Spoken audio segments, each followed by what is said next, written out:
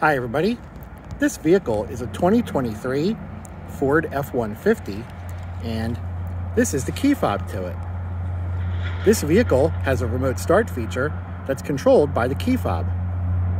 To operate the system, first you have to lock the doors with this center button and then press the remote start button two times. And the engine will start. Now if you don't do anything, the computer will let the engine run for about 10 minutes before turning it off. Or you can turn it off using the remote. Just press that remote start button one more time and the engine turns back off. Pretty cool.